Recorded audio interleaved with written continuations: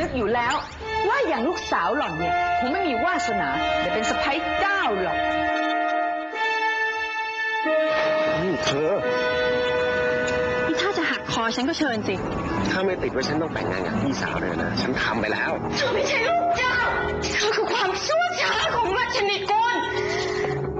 ผมก็น่าจะรู้อยู่แล้วว่าในใจคุณก็มีแต่พี่รองเท่านั้นนะร้องตอบแทนบุญคุณด้วยความหวานอมขมกลืน แบบนี้นคะแต่ฉันต้องการให้เธอเป็นสะพ้ยของฉัน แล้วใครก็ขัดไม่ได้ด้วย